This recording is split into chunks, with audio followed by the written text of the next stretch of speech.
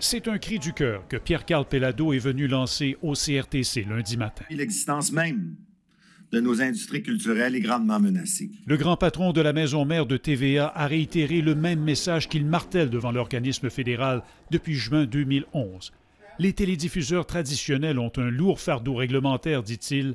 Ils perdent des auditeurs au profit des géants étrangers du web tels Netflix, YouTube et Apple TV, qui, eux, ne sont pas encadrés. Sans une révision en profondeur et un allègement important du cadre réglementaire, la bataille que nous livrons à armes inégales contre les services en ligne aura raison des entreprises de radiodiffusion d'ici. C'est dans ce contexte, ajoute-t-il, que TVA a récemment annoncé l'abolition de 547 postes. On a besoin des médias pour faire entendre notre voix. Après Saguenay et Rimouski, 200 personnes ont manifesté lundi devant la station de Trois-Rivières, inquiets des impacts qu'auront les coupes sur la couverture de l'actualité locale. Le rôle d'un TVA est très important pour faire rayonner ce qui se passe chez nous. On va entendre parler juste de Montréal. Tantôt, le pont est fermé, le tunnel coule, Madame Plante avec ses dépenses.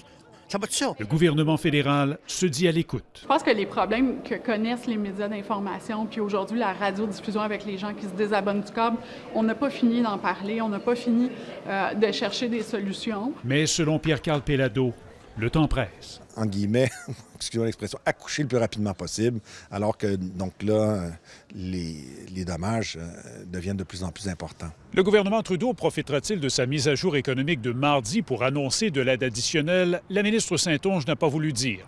Entre-temps, le PDG de Québecor affirme que TVA se trouve maintenant dans ses derniers retranchements. Raymond Filion, TVA Nouvelle-Ottawa.